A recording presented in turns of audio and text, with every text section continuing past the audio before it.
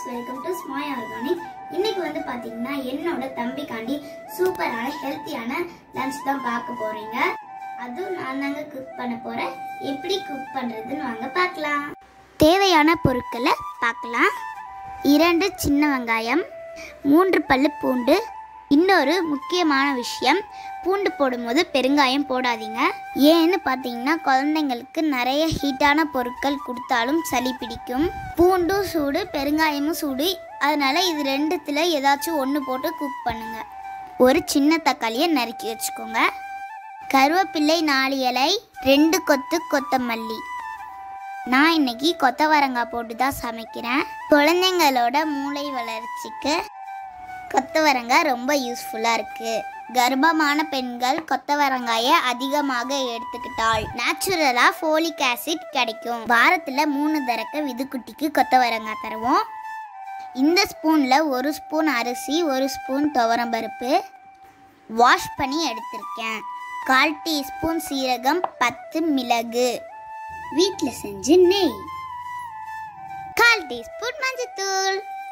தேவையான அளவு உப்பு. குக்கர் எடுத்திருக்கேன். ஸ்டவ்வும் ஆன் பண்ணிட்டேன். குக்கர் நல்லா சூடாயிடுச்சு. இப்போ ஒரு டீஸ்பூன் நெய் எடுத்துக்கிறேன். நெய் நல்லா காஞ்சிடுச்சு. இப்போ சீரக மிளகும் போட்டுக்கலாம்.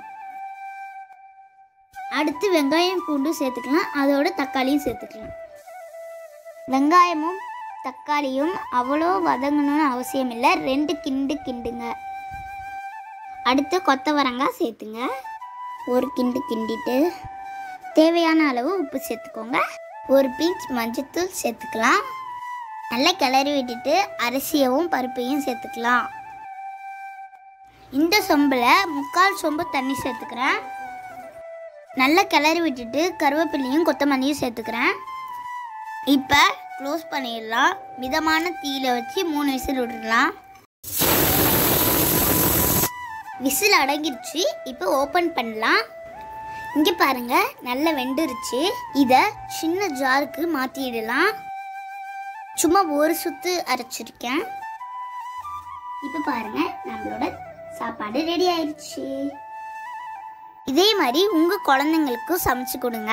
வீடியோ பிடிச்சிருந்தா லைக் பண்ணுங்க ஷேர் பண்ணுங்க கமெண்ட் பண்ணுங்க. மறக்காம சப்ஸ்கிரைப் பண்ணுங்க. நன்றி வணக்கம்.